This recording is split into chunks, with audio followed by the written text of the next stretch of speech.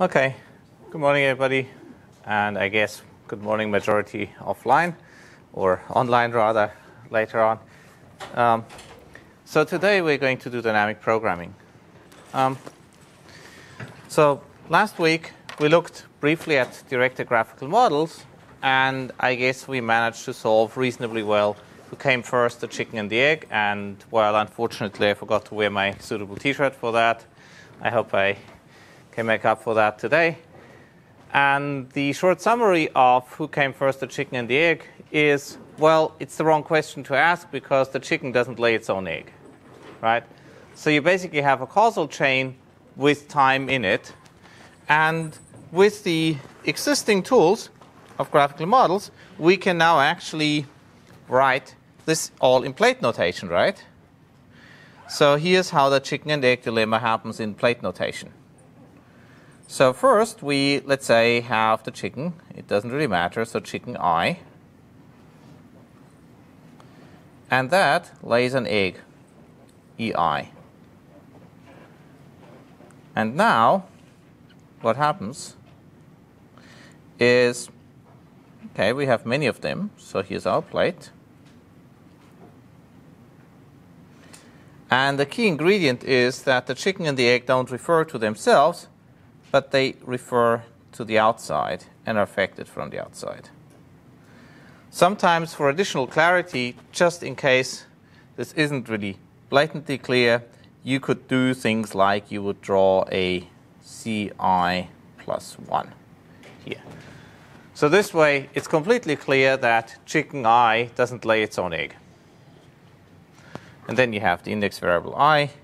What it doesn't do is it doesn't actually address how you start that entire chain. So we're back to the old philosopher's dilemma, but we're not going to solve that here today. But at least you can see that asking the question who came first, the chicken and the egg, is a stupid question to ask because it misses important detail about the internal state of the system.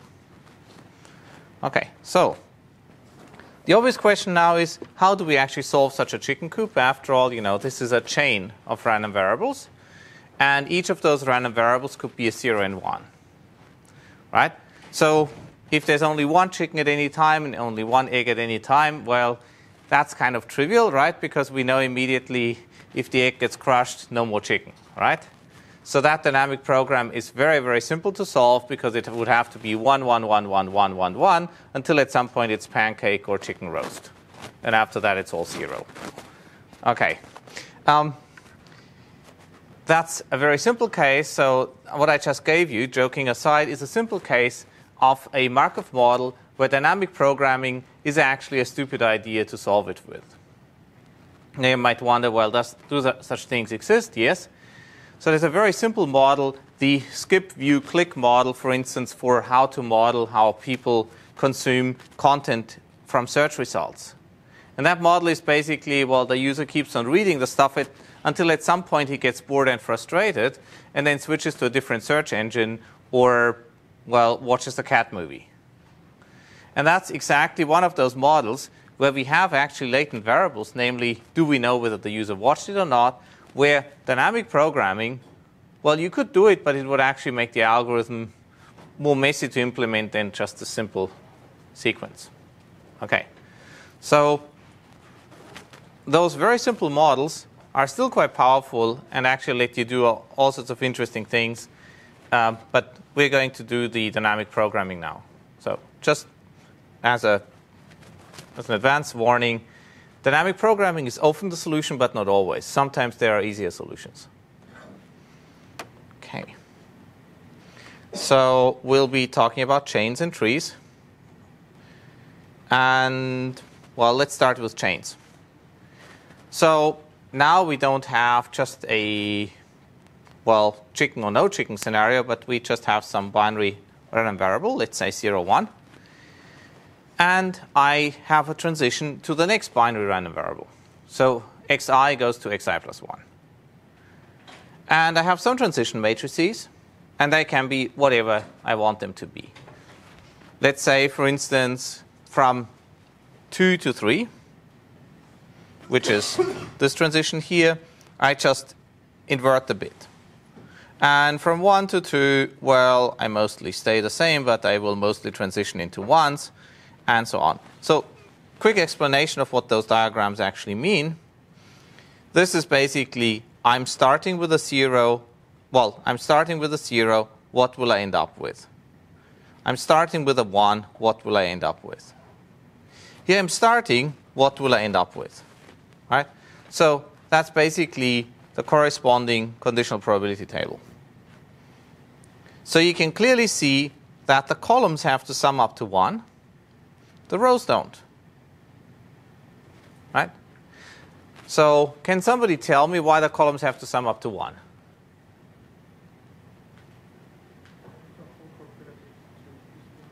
Well, it's basically I have to transition into something, right? So the sum over all the possible transitions has to sum up to 1 because the sum over all the partial probabilities has to be 1. Okay, good. Um, the rows don't have to sum up to 1 because, well, these are essentially, for all practical purposes, different distributions. They have nothing to do with each other. I just so happen to write them in matrix form. That will actually make my math a lot easier later on, but other than that, they just happen to, well, live on the same slide.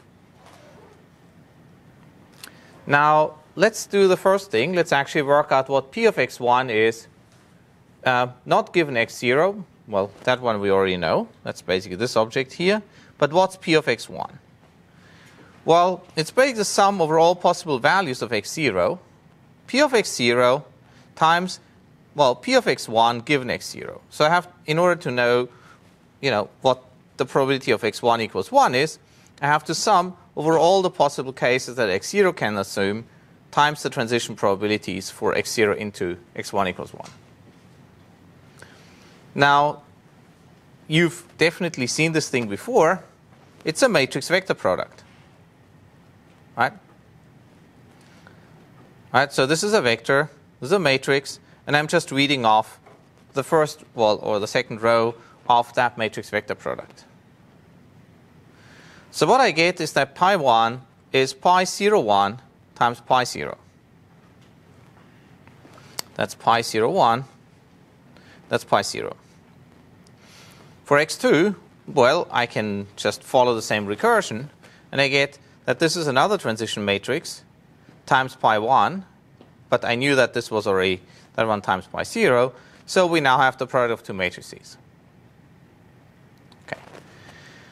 So that's kind of nice, right? And by just induction of, well, looking from special case to general, we can see that if I have a longer chain, all I have to do is just I have to multiply those matrices together, which is something that MATLAB actually likes to do a lot. So let's see how that code looks like in, well, MATLAB or Python. So, so I start with, you know, x naught being, and all the various transition matrices being whatever I might want to make them to do, right? So now this is my super advanced Python program, and that's what it'll spit out. Okay. So it's very, very easy to do this in on a computer. And if you had to do that by hand, it would be supremely awkward. Um, does somebody have an idea what the largest singular value of those transition matrices could be? Yes? Okay, that's great. So why would they have to, why can it not be larger than 1? So the answer is correct, but why? Um, because you can't get a probability of more than one. Yeah, you're on the right track. Um, if the probabilities were normalized to 5, then you would still get the normalization with 1. So you're close to the correct answer. So, so here's what happens, right? So suppose I have one of I have those transition matrices and I keep on transitioning over and over, right? Then in aggregate, my total probability mass is finite and it's always one. So if I start with normalized system, it will not, never become unnormalized. The net result of that is that if I just raise that matrix to a higher power, you will you must not get a product that is divergent, right? So you must not get something that where the you know basically the, the left hand left hand side result becomes infinity, right? Because that would just mean that you know your probabilities become infinite. That's not good. Likewise, you must not have a situation where the probabilities vanish and nothing happens anymore. Basically, you need to conserve probability. So therefore, you, you must get a situation where the largest eigenvalue is exact or singular value is exactly one. Okay. So that's the only constraint that we have to impose on those matrices. Okay. Um, so, and this is a very, very useful property. So, for instance, if you have this, quite often you will then ask the question, well, okay, so now we know the largest eigenvalue or singular value because by construction, how large is the second largest one? And this gap between the largest and the second largest singular value tells me how rapidly certain transition processes actually converge. Because if the, let's make a simple case, let's say, you know, okay, so we have lambda 1 equals 1. Let's say lambda 2 equals 1 half.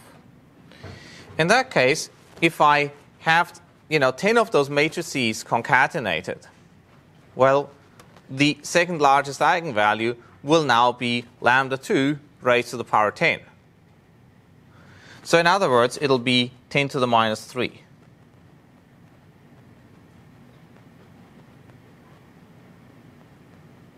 Right? And at that point, it basically means that my transition process, for all practical purposes, has converged, and whatever I start out with, I will end up with a stationary distribution. Um, stuff like this matters, for instance, when you look at algorithms like PageRank. Who's heard of PageRank before? Okay, good. Uh, big disclaimer PageRank is a useful quantity, but this is not how people rank web pages on the internet. So don't ever go and write a paper which says, we do PageRank because this is the applied algorithm how people rank pages on the internet. That was the case maybe when Google was started ages ago, uh, but this is not how now people use PageRank. It's a useful feature among probably many, many, many other features. So don't think you can do web page ranking by computing PageRank.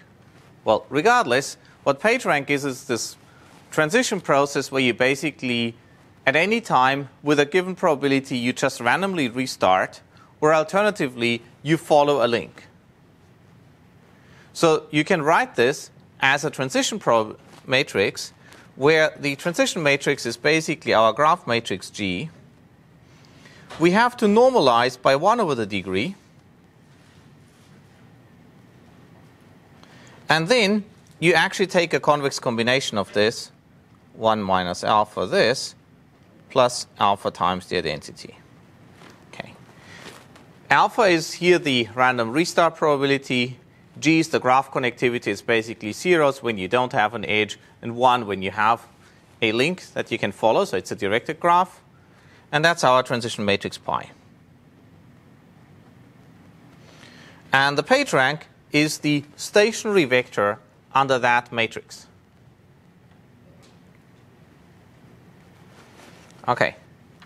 So I hope that helps a little bit explain how very, very simple applications of such Markov chains work. Now, of course, we're not going to content ourselves only with first order chains, that would be too boring. We can do second order chains. So second order chains are just that. They basically have transitions that not only depend on the previous state, but on the two previous states. And so obviously a third order chain is one that depends on the previous three states and so on and so on. Okay. Quick question. Can I transform a second order chain into a first order chain? Yes? How would you do it? Exactly. So the trick on how to turn this, this into that is very easy. Basically, I go and you know define a new state. Let's call it zi to be xi and xi minus 1. And then I just have a transition probability which is now a little bit more subtle, namely it, it is one where going from set i to set i plus 1, the first and the second argument get swapped and the other one gets a new transition. But other than that, I can do this. So physicists actually have a name for this. This is called moving into phase space. So basically, when you describe a particle, you would describe it not necessarily only by its location, but also by its location, its velo velocity. And you can essentially approximate the velocity by the state right now and the state a fraction of a millisecond before, right? That's exactly something where you turn a second order Markov system, namely the flight of this uh, pin, into a first order Markov system now with a larger state. Actually, with if I was to throw that pin at you, you would probably need a slightly higher dimensional state space because you would also need to look at acceleration, right? So that would be the equivalent of a third order Markov model. And so if I describe the particle by location, previous location, and previous previous location, that will give you an accurate information about what's going on. Right? So this is essentially classical mechanics as a Markov chain. And, well, use the math to it, right? It's very simple. And, yeah, okay. Plug to a colleague of mine. Um, here's the math, really.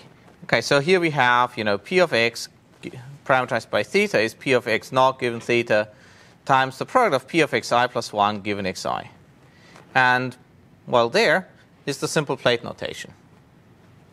So if I do some statistical modeling and I talk to somebody who actually wants to use this, I would probably use this language. This is what you do if you implement it. Okay, so let's actually work out what happens. So p of xi so this is basically, again, working out the matrix recursion, right? It's basically p of x naught times all these products before and the sum here. And we're going up to term xi, but then we also have xi plus 1 to xn. And that's kind of a stupid thing to do because we don't really care about the children if we don't observe them. But later on, we are going to observe the children, and that recursion will actually be very useful. Okay. So what I can do is I can go and actually, well, let me just define this to be L naught of X naught. It's basically the left message going from the left through the chain. It's that times P of x1 given x0. So this is what we before had in matrix notation. I'm just going to rename things. And this is now L1 of x1. Right? So this is basically what I get by summing over x0. And then I can push this further. And what you will see is that now you have the same recursion again for L2. So in other words, what we get is that we have some initial message L, L0. We can compute L1 from X, L0 by doing this very simple sum. That's in this red bar here. And then we get L2 and so on. The reason why we could do this is because basically, like an onion, we peel off the individual sums here. So we first peel off x0, because there's only one term really that sits in there. Then we peel off x1, which is what we get here. Then we get x2, and we keep on going.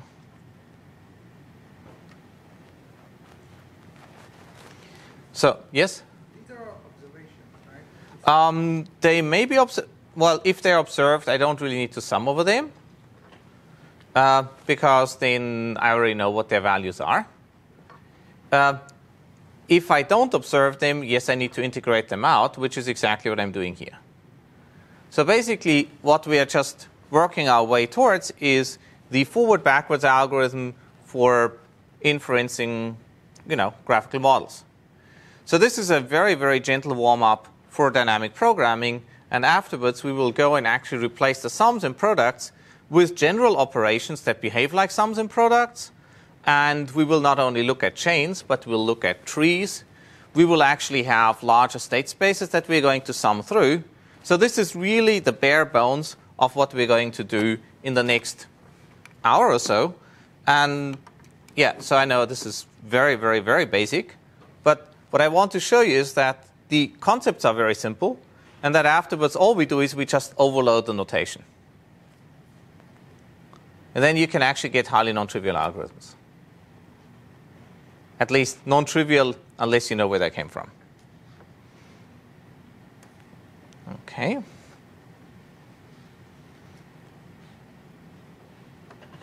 Okay, so now the point is for directed graphs, we don't really need this um, because they're already normalized, but it's good to know. However, now let's assume that we are exactly in that situation where you observe x3. So now the horrible of horrible things happens, namely now since we observed the very child at the very end of that chain, I cannot just go and say everything is properly normalized anymore because now I'm conditioning on, on x3. So I actually need to sum over all the other variables before. But you know, not to worry. The dynamic programming uh, algorithms, well, basically the operations from the left-hand side, stay exactly the same as before. Right? And so we can sum over all those variables, keep on summing over everything, until at some point we are basically stuck with, you know, p of x3 given, you know, x2. And this is now going to, since we observe x3, this is basically now going to be our right message in x3, well, in x2 actually. And we could basically perform the entire summation also from the right. So just in the same way as we could peel off things from the beginning of the chain, we can peel things off from the end of the chain.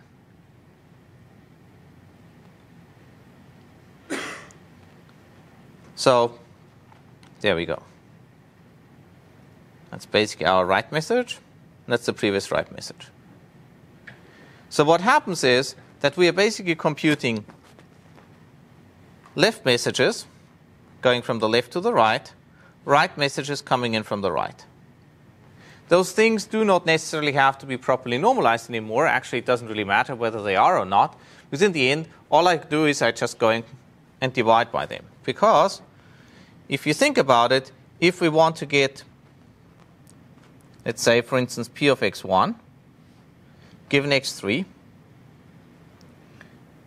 okay, so let's say p of x1 given x3, that means that I have to sum over x0, and I also have to sum over x2 of that entire chain. Right? And now, to sum over anything up to x1, I can just you know, work my way through the left messages. And likewise, I can work all my way through the right messages until I end up with a function that depends only on x1. And so I will get basically L1 of x1 times um, R1 of x1. Okay. And so now I basically have something where I've completely summed out anything but x1. And now it's trivial for me to normalize. This is what allows me to compute p of x1 given the rest. So this is fairly crucial here. And I really want to make sure you guys understand that part because we're going to be using it over and over. So any questions right now are probably, now is a good time to ask questions, I guess. if you're not sure.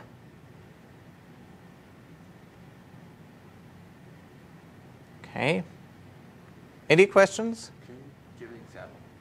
So we will we will give an, we will go through an example uh, in yeah basically one or two slides. Um, so we'll do that for binary random variables. But I first want to make sure we everybody sort of kind of is clear on the concept.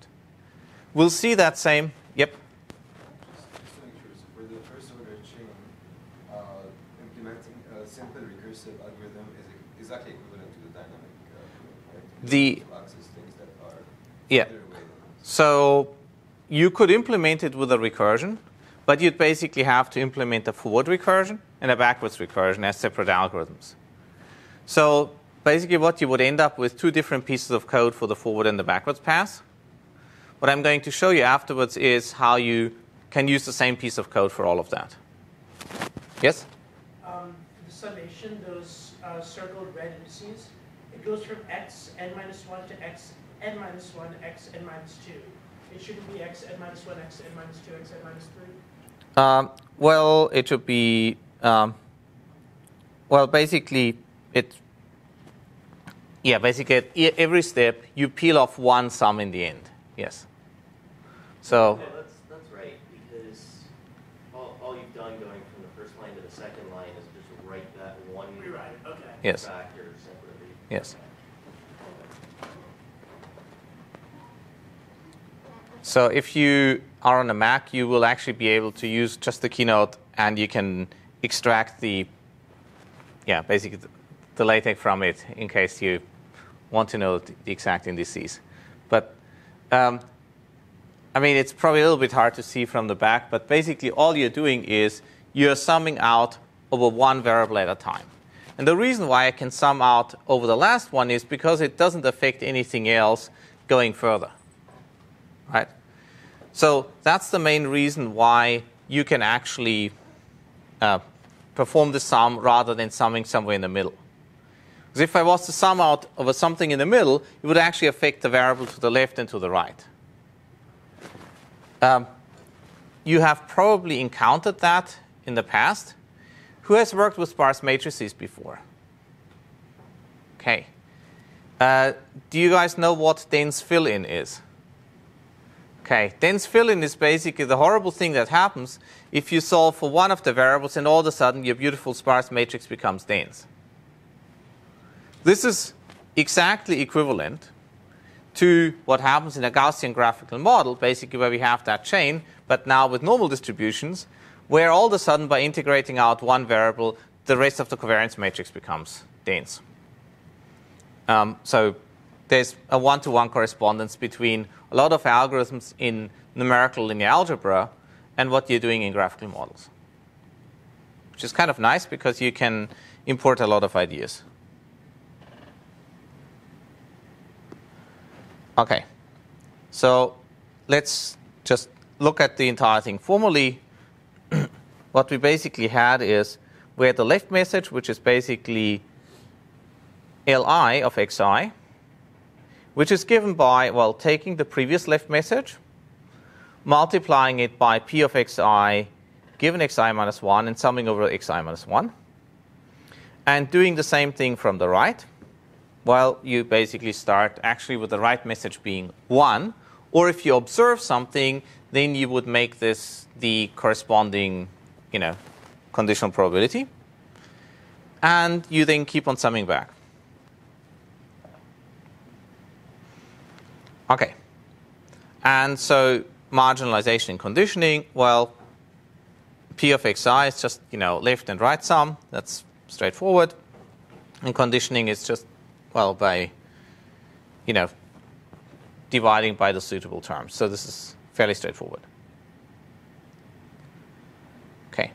Now, let's look at that in a message passing framework.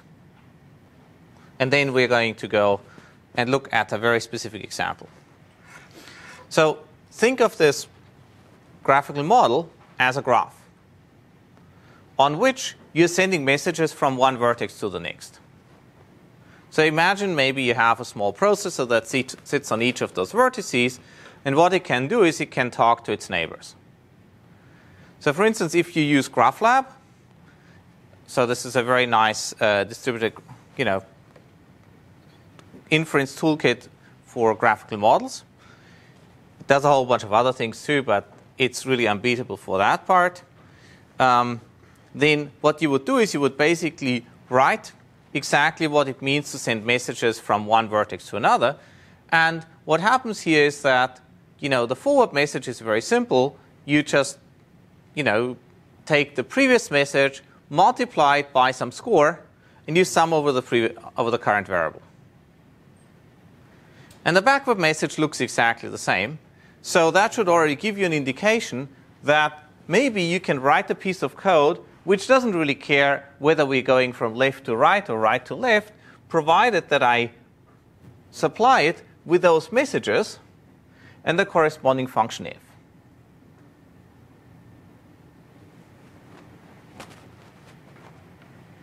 Okay, so this was maybe now super abstract. Let's look at a simple case.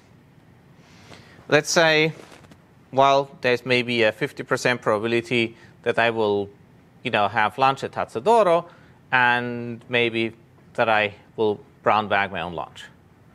And because, well, Tazzadoro is so amazingly delicious, if I went to Tazzadoro, then there's a 90% chance that I will stay at, go back to Tazzadoro next time, and a 10% chance that, well, maybe I'll brown bag.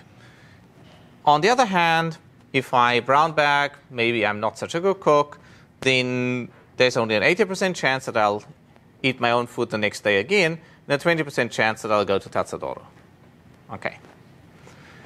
So, and let's assume that basically my cooking skills don't really change over the days and that the quality of Tazzadoro food is essentially unchanged, which I think is a pretty good assumption.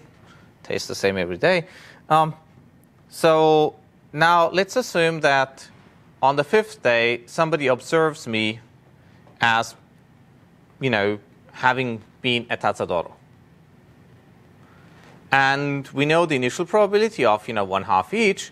And now what you want to do is you want to infer from having seen me on the fifth day at Tazzadoro what the, what the probability was that I would have gone to Tazzadoro on the third day.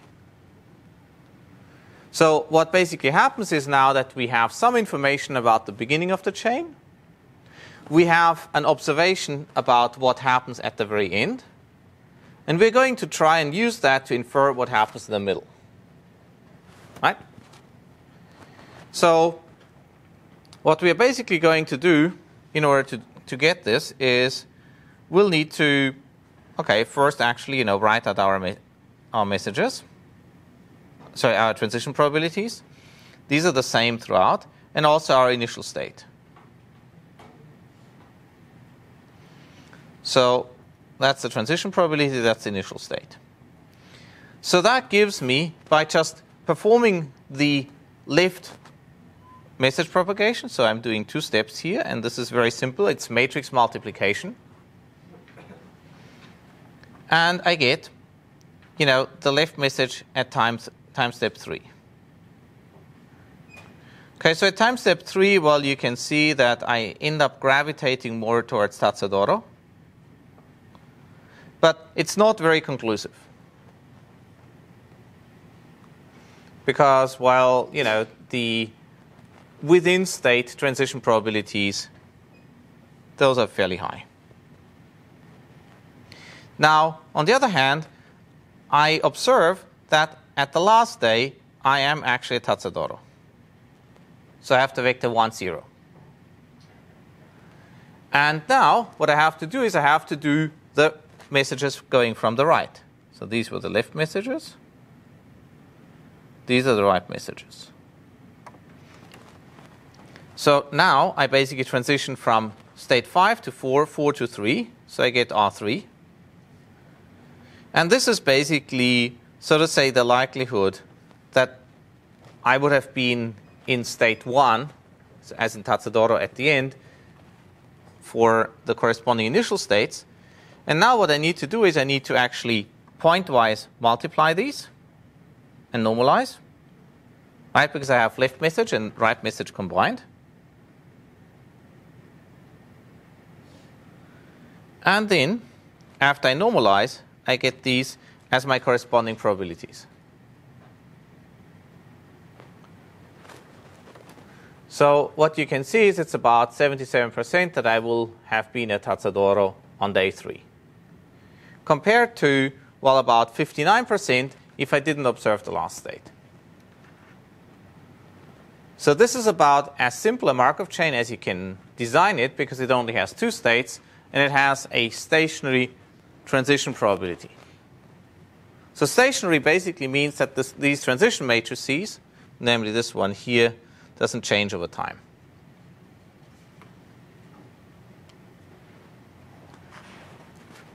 So if Tazzadoro, for instance, was to change its food every day, and if, for instance, what I eat depends on whether I cook or whether my wife cooks, then um, this matrix all of a sudden would not be stationary anymore. So, for instance, you might get something like this if my wife cooks. Or maybe you get something like this on maybe a Monday if they have stale food.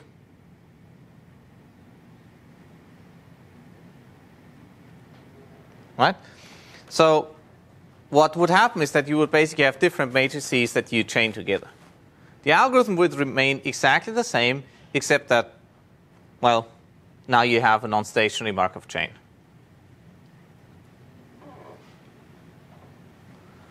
Okay.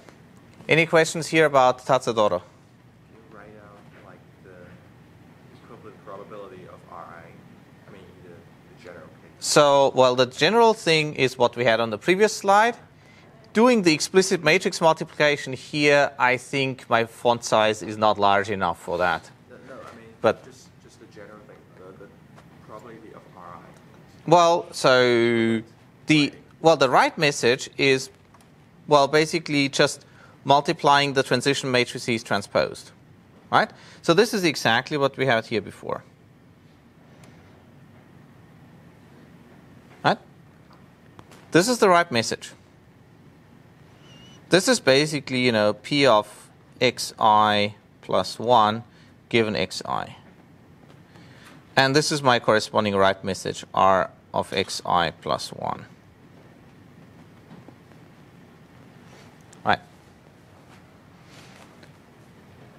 So, yeah. That is what you have in general.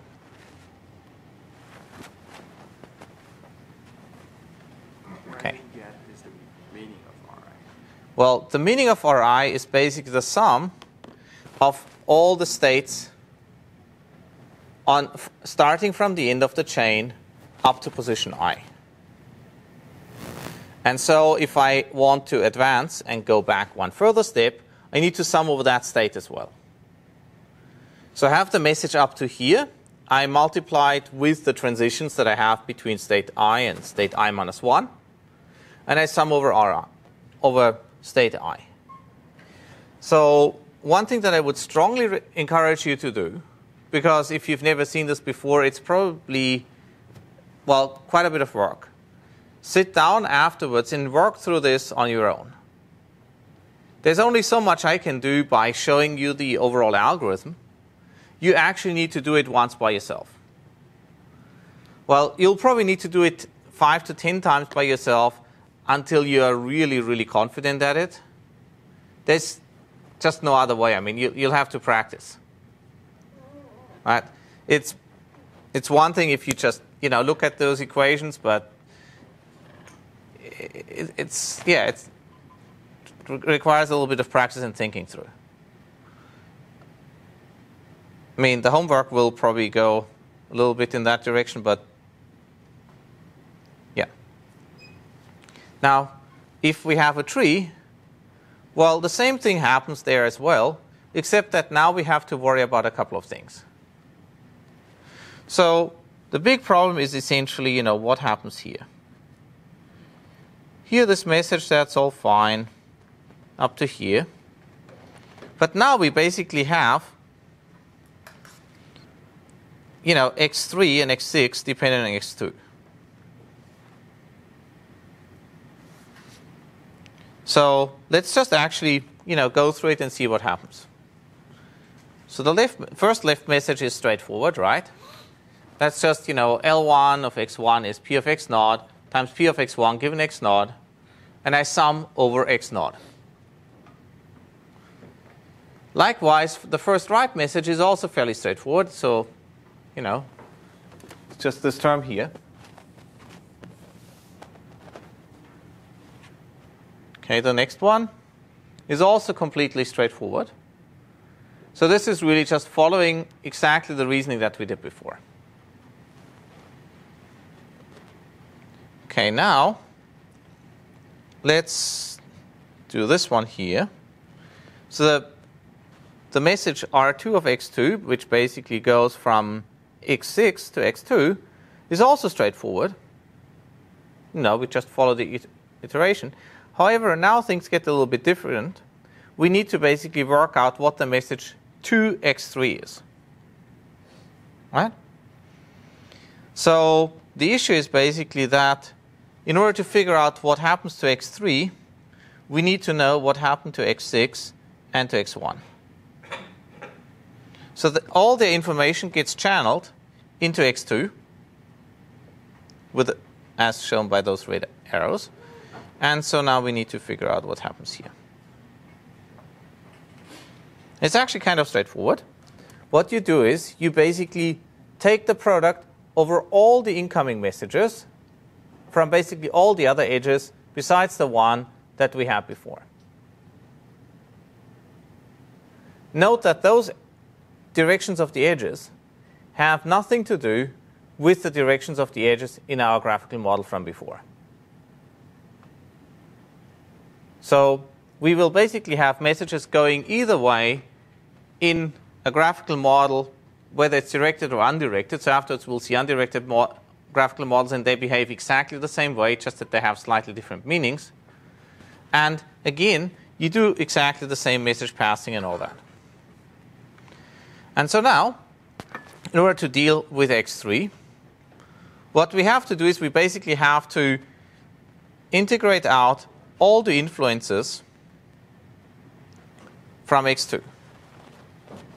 Now we have basically two, two incoming messages into X2, so L2 and R2. We have P of X3 given X2. Okay, so this is exactly what we had here. And then I just sum over all the X2s and I'm done.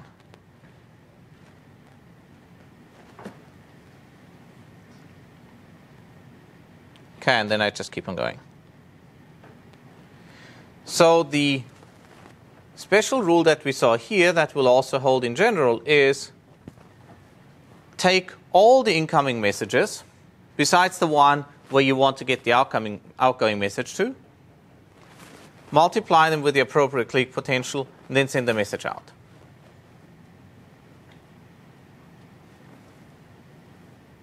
Okay, so this was quite a conceptual jump from what we had before, except that here the model still is fairly simple. Yes? So this, um, given the initial probabilities and having observed x8, you're trying to infer x5? For instance. Okay. Yes. So you're absolutely right. What I really would have had to do is maybe shade this guy here. Yeah. Because otherwise, this entire thing integrates out to 1, right? I mean, I could run the algorithm, but I would just get, you know, vectors of 1 uh, all throughout, which would be kind of useless. So you're absolutely right. And so I could, for instance, ask something like, you know, what's p of x5 given x8? And since they have a common parent, well, we actually need to, you know, take that into account. Or you could, for instance, have you know x0 being observed. By the way, if you observe x1, then of course you can start the, the recursion directly at x1, right?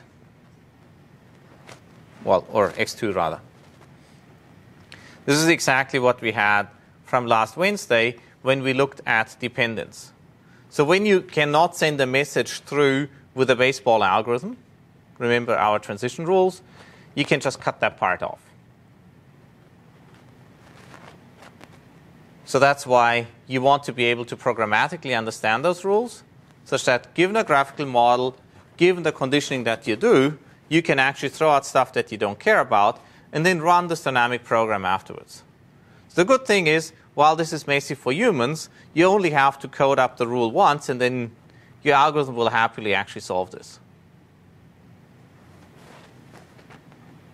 Okay. So here's the general thing. And this is the one picture you absolutely should remember. This is the template for the so-called junction tree algorithm. And afterwards, what sits in here will become a little bit more complicated, but it's actually a very, very simple idea. Messages going into 2 are all multiplied, then multiplied by a potential that couples, you know, 2 and 3. And then you integrate out over this variable of that vertex. So you basically multiply and sum. This is why it's sometimes called the sum product algorithm. Because you sum and you multiply. Okay.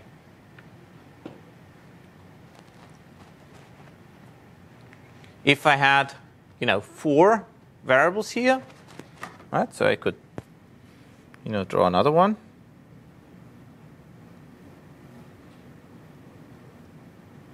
Then I would simply have to multiply times m5 2 of x2. And the algorithm would not change. Now the thing is, you do this for this combination, but then you can also do it for a message going from 2 to 1 or from 2 to 4. So this is the other good thing that I only really need to ever compute messages going from one vertex to its neighbor and in the reverse direction to be able to answer all questions that I might want to ask about that graphical model. So for instance, if I wanted to get all the marginal probabilities on a chain, I would basically compute all the forward messages. I would go and compute all the backward messages. And then for any given variable, all I'd have to do is just take its appropriate forward and uh, its appropriate backward message multiply and renormalize.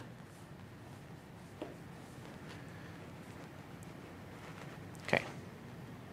So the other thing that you've probably already seen from this is that the algorithm, in terms of the operations, is basically linear in the number of edges.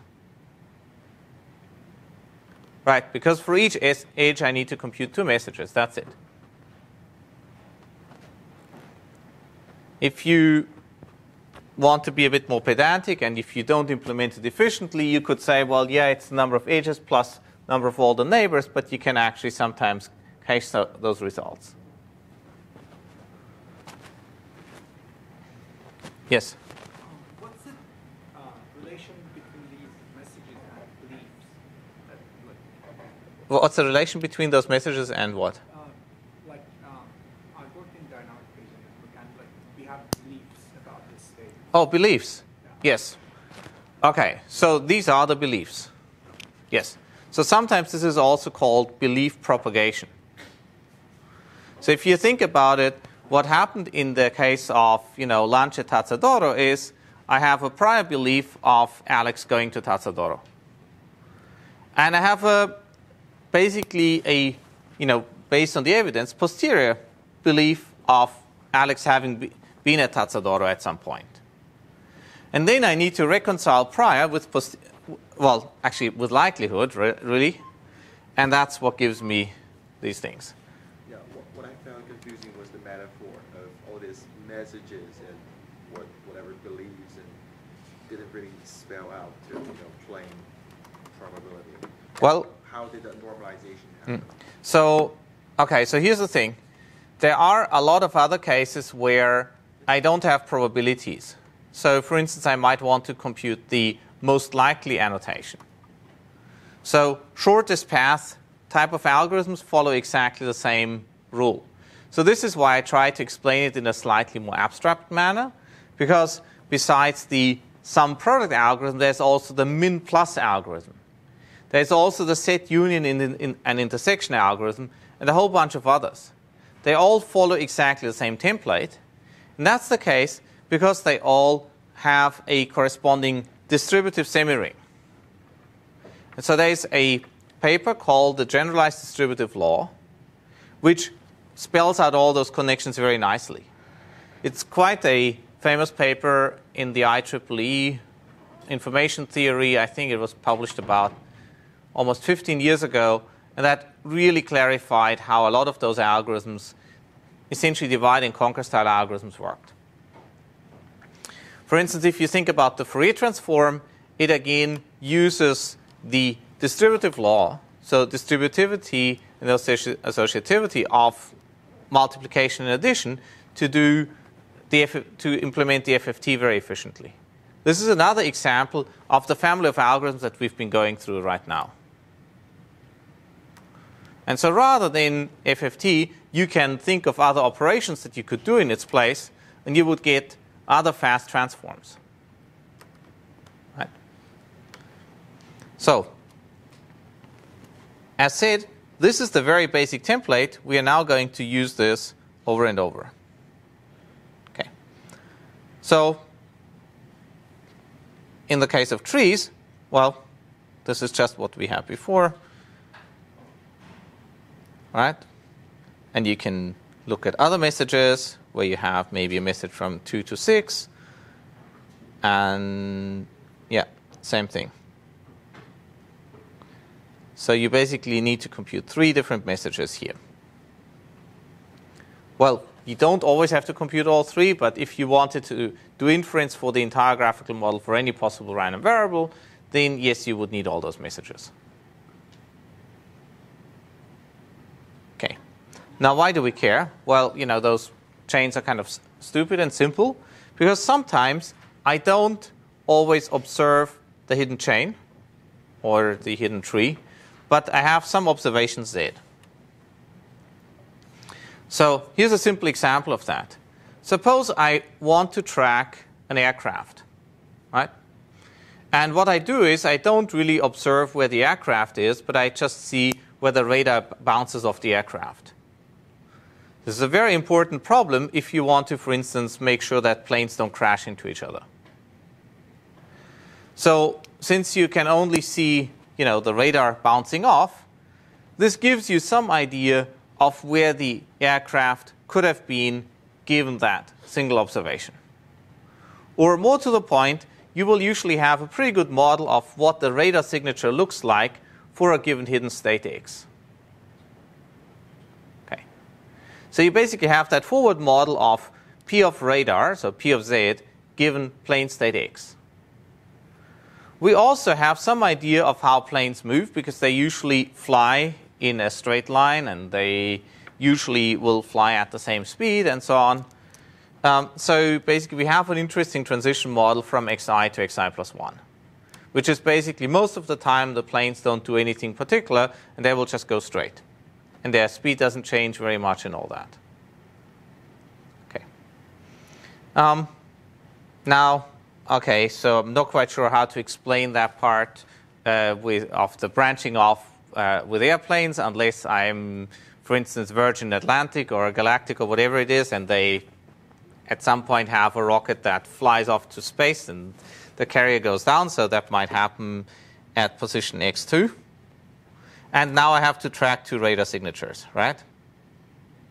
Or you have a fighter jet shooting off a missile if you want, but yeah basically you have a plane and at some point you have two pieces of that plane. You want to track them separately. And of course, knowing this and that trajectory should help you something about figuring out when they separated and also where they were. But you only have the radar signatures. So what in this case you need to do is, well, you need to actually write, first of all, the corresponding conditional probabilities. So P of x and z is just, you know, P of x times P of z given x.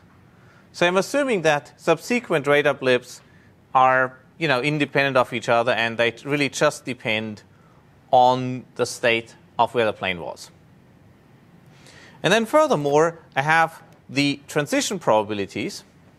And I'm just going to write them as f of xi and xj. This is how the plane moves and how at some point it shoots off a rocket. Okay. And so now what I can do is I can just work out, you know, what's p of xi given the rest, and that's just summing over everything but that variable. And now I have this hairball of things. But the good thing is that now I can actually use message passing. I basically get that this is nothing else but g of xi, the observation at that point, let's say, times the product of all, the messages that are incoming at that point. And now, since things don't really trivially normalize up to 1 anymore, I actually need to work out all the messages. So, for instance, this would allow you, with hindsight, to figure out what happened at x2 given all the radar traces in the past and the uh, right? Basically, all the radar traces before and after the event. Okay. So this is now how we've gone from something very, very trivial, namely, well, just you know, working our way through a chain, to something that's highly non-trivial. Let me give you another example where something like this matters. So when you have a cell phone, your cell phone has often something that people refer to with various names, including Wi Fi GPS. So, in other words, when you pull out your cell phone indoors, if you do that now and open up Google Maps, for instance, you'll see that it will actually locate you fairly decently. Right? Might not exactly locate you to this room, but it'll do a pretty good job and figure out that you're at CMU. So the way how this works is actually based on a number of things, and that's the same basically if you use uh, well your iPhone. Um, essentially, it uses a number of sensors. First of all, it uses the cell tower information to give you a general information that well you're in Pittsburgh, or maybe somewhere you know within one or two miles from the CMU campus. Secondly, it will actually use the information that there are various Wi-Fi beacons with corresponding SSIDs and signal strings to get some idea of where you are. Furthermore, it may or may not, and that depends on which phone you have and which operating system and stuff, um, use the fact that maybe here's the trajectory how you walked into this place, right? And of course, the holy grail is to use the GPS as little as possible and to use that kind of Wi Fi information as much as possible because the Wi Fi information is already free. Because most of the time you have Wi Fi turned on anyway, so you already know where the base stations are. GPS takes quite a while to fire up. It takes about you know 10, 20 milliseconds to fire up. It uses a lot of, a lot of power. So the more you can avoid firing up the GPS, the longer your phone lasts. So this is a practical example where you're going to use this to fill in details on a Markov chain. Any question? Uh, how do they know where the Wi-Fi signals are located geographically? That's a very good question. Um, so you can do a number of things. For instance, you could actually go um, and at some point, let's say some phone actually had a GPS turned on at that location in the past. So let's assume you're outdoors. Then at some point we will observe a Wi-Fi signature and location mapping. You can then turn this around and turn it into a, well, if I'm there, then I'm going to see those base stations model, right? So you're basically going to turn around and turn this into exactly a P of Z given X model. So that's exactly that part right? P of Wi-Fi given location. And you basically treat the GPS as gold standard. Well, you shouldn't actually be doing this because otherwise people would be all Spider-Man and climbing up the, and down the walls of buildings. Because what happens is if you're in a room, then the line of sight to a satellite, well, okay, maybe not if you have you know wooden walls, but if you have concrete walls in an office building, basically the GPS will always map you to exactly the outer surface of the building. And that's obviously not very meaningful, right? So you need to worry about details like this in practice. But besides that, you, you're basically going to use the Wi Fi signature in combination with the GPS to map you. Okay, now to go further, what you can actually do is you can do SLAM, simultaneous localization and mapping, to use inertial sensors to figure out where you are indoors. Probably about two years ago, Apple bought a company whose company name was Wi Fi Slam. Okay, so you can probably figure out what they're doing. And yes, I mean, other people also read that news, and yeah. I found out because at that time I actually Google searched for Wi Fi and SLAM, and uh, then found out that yes, somebody had already done this. They did a pretty good job. Um, okay, so this is a very short detour of how you can actually use hidden Markov models to locate people. Or, I mean, likewise, if you have a robot, I mean, it does the same thing. You basically have a transition model of how the robot drives around. You may have a map. You may not even have the map and are building up the map at the same time. And then you try to figure out where were you maybe five minutes ago. Okay. So, just to sum up a little bit, we basically, you know, have a simple dynamic program. We go forwards and backwards, and yeah, it's a very simple idea. Okay, junction trees. I want to actually get through this. We have to accelerate a little bit because I want us to cover neural networks and other things in the class before time runs out. Right. So, if you think about it, I'm now going to complicate notation even further. So remember we had the simple junction tree where we have basically f of x1, x2, f of x2, x3, and then you know x2, x4.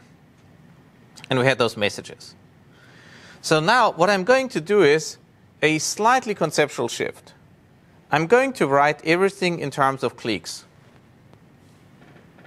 Okay? A clique is a maximally connected subgraph. So basically, if I have a three clique, all the three vertices in that three clique are connected. And the set of cliques here is actually very simple to see. It's that one here, it's that one there, and that one there. And if you think about it, the well, variables that we had were basically just, you know, something that happens conditioned on something else. So these were functions that coupled those two adjacent variables. And so now we have basically those three cliques, namely 1, 2. That's the red one here. 2, 3, which was the yellow clique. And 2, 4, which was the green one here. And what I did is I cheated a little bit by writing this out as a chain.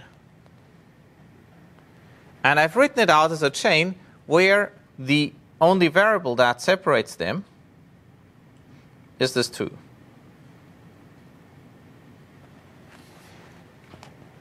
That's basically the only variable that's in common between those sets.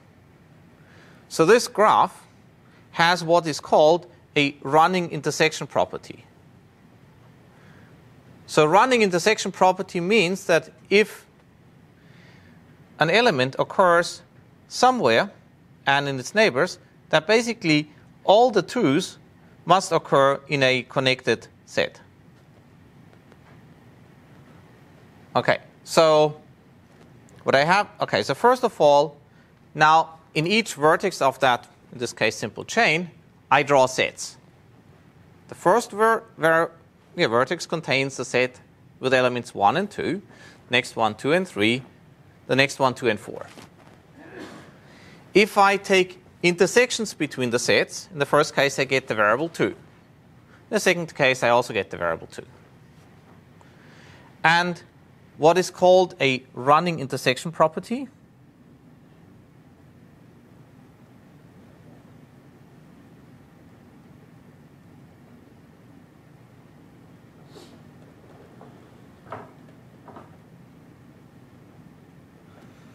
is that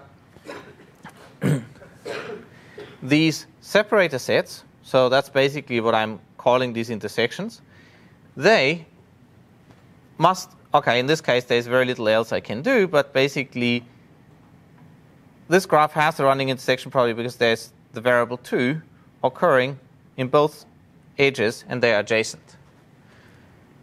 So what shouldn't happen is that I get something like maybe I have a 2 here and a 1 there and a 2 there. That would not satisfy the running intersection property. Okay. Um, so now let's actually see how this translates into message passing.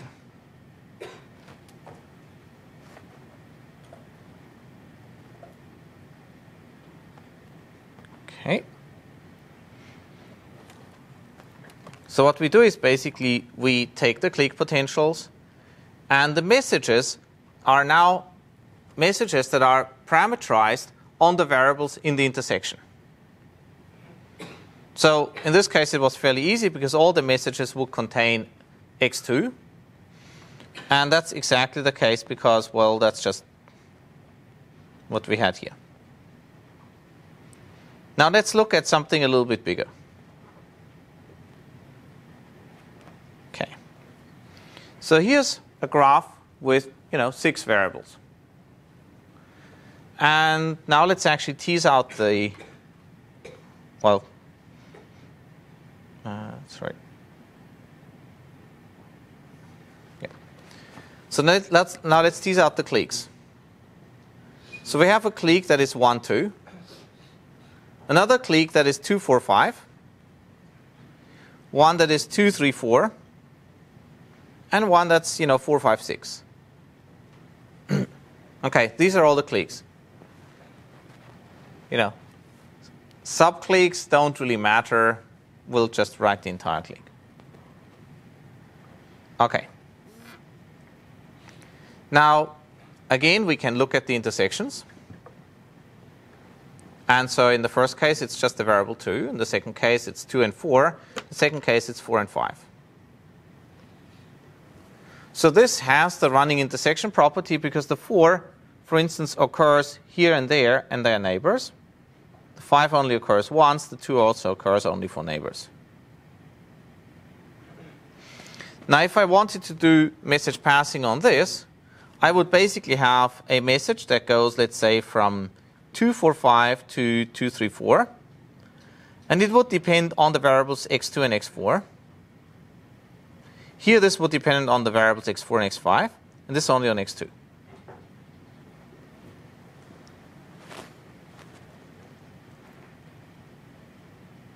And again, same thing as before.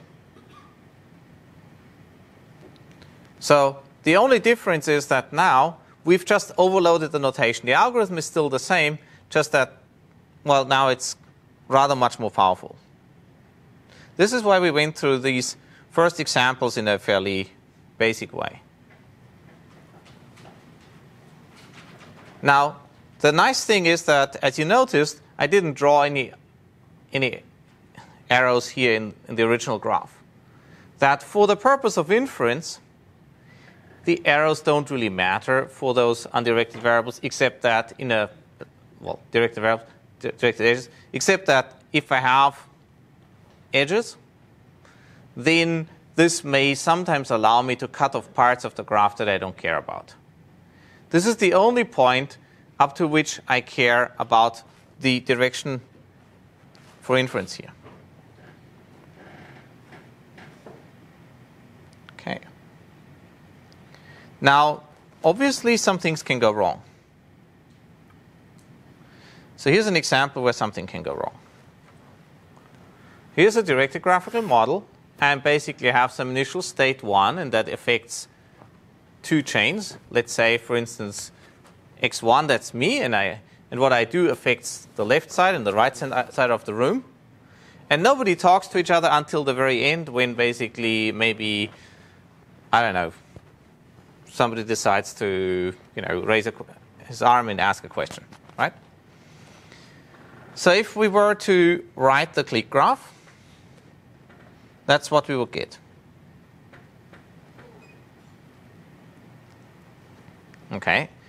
And what you can already see here is that, well, this is not a tree.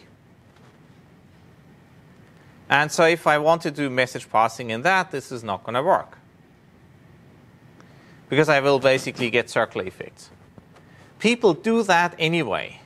This is called loopy belief propagation. So the technically wrong algorithm, which ignores the fact that you have loops and just runs message passing anyway, is called loopy belief propagation, and often it works fairly well. Just be aware of the fact that it can sometimes go horribly wrong. Okay, so how do we fix it? Well, one way to fix it, and mind you, this graph has a running intersection property that's kind of nice, but it's a loop. Well, we have to cut somewhere, right? So let's go and cut it. Um,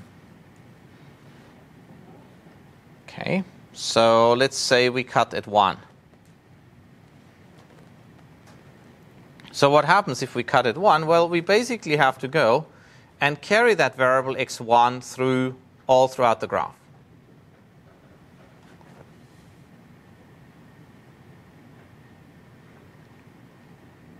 So that's what happened here. And now the separator sets are, well, between here it's just 1 and 4. And here it's, you know, 1 and 6, 1 and 8, 8 and 10, and so on and so on. So what you can see, and also the 1. Um, sorry. It's actually 1 and 10, sorry. So what you can see is that the 1 goes all the way through.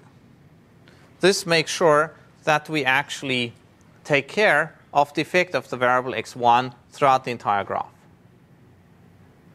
Yep? So in general, the nodes don't have to be necessarily cliques. The nodes don't have to be, well, okay. So what I've basically done is I've added an extra, an extra set of edges, right? So I've basically triangulated the graph. So what, what I do is I, and actually finding an efficient junction tree is unfortunately NP hard. But what, I, what I've basically done is I've shown you an example of how to do this in this case. And there are stupid ways how you can make your life a horrible, mis- horribly miserable pain, and you can, and this is probably one of the more efficient ways. So basically, what I've done is I've taken one variable and I've added fake arcs to everything else. So basically, it just means I need to model and carry through the dependence of everything else on this variable because it really affects everything up to the end of the chain. And yep. So these are really cliques in the undirected version of the graph. Well, these are cliques in the other. Yes. So in the undirected graphs, we have an edge between any two dependent variables and no edges between two independent variables. Um, yeah. Okay. So yeah. Okay. So for okay. So advanced preview for undirected graphical models basically conditioning on a on a set of variables means you rip those variables out and you look at look for graph connectivity. That's what conditional independence will mean in undirected graphical models. For this thing here, this is just purely operational on how to do dynamic programming. This doesn't have much of a statistical meaning yet. This is just to make sure that we don't end up with loops in the graph. And so what I do is I basically add a few more edges, and then now I get something that is a slightly fatter graph. So it's a, it's a junction graph that is slightly fatter, but it's now a tree. And when I get when I'm lucky, those operations may actually work. But the separator set gets larger, and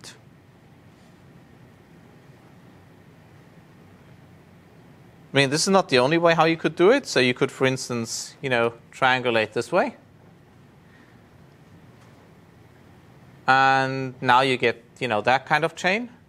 This may actually be a better way of modeling things because it's quite plausible not to assume that x1 is this magical variable that affects everything until the end.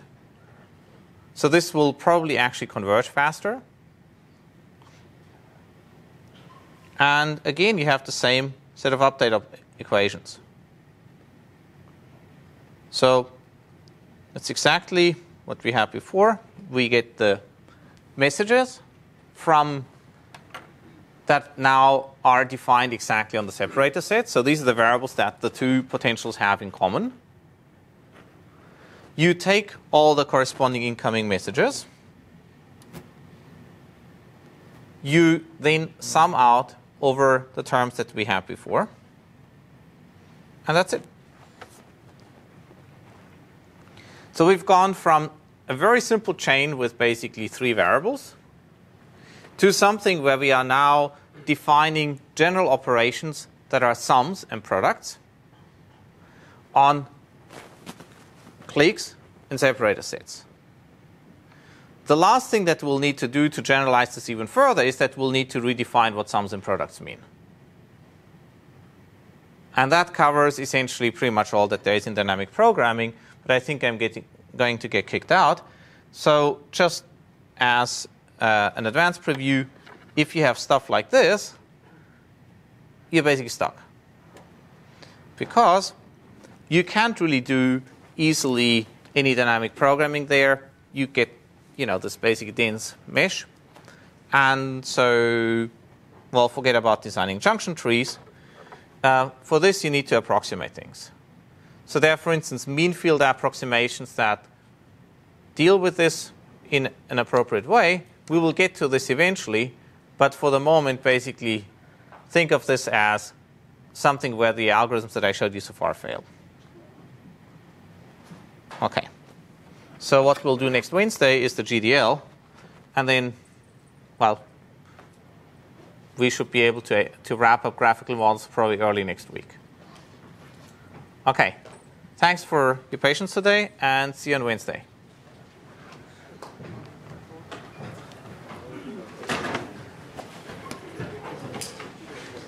Yeah. I, I just felt today's lecture is so rushed. Well, uh, I mean, the, the thing is, I need to get through content. This is really the problem. I, I honestly, I, I don't, I don't get one thing. Once the trees start to show up, I probably figure out what the, what the L's and R's are with what, Yeah. but then, then I got completely